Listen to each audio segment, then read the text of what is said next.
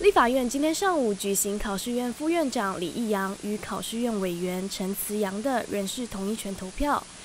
但国民党党团却认为，民进党政府与李义阳既然主张废除考试院，却又提名人选补缺，是认知错乱，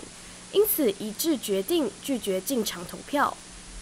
拒绝投票，拒绝投票，拒绝投票。所以就看到整个民进党的整个对宪政运作的角度，完全是从纯粹的从权力斗争的角度在看，没有占位置的时候就骂，有位置的时候说要站，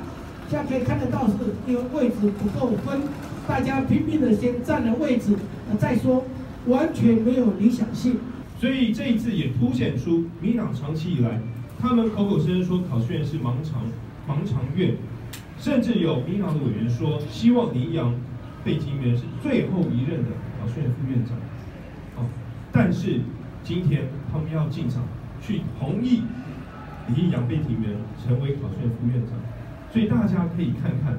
民党他这样的说法，有办法让民众期待考试院这一次面对年金改革能提出合理、公正、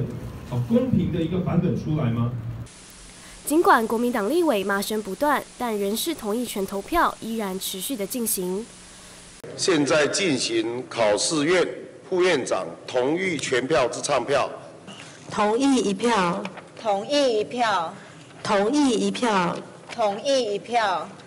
最终，陈慈阳获得七十七张同意票。李义阳获得七十四张同意票，两人票数皆过半，依法成为第十二届考试院副院长与考试院委员。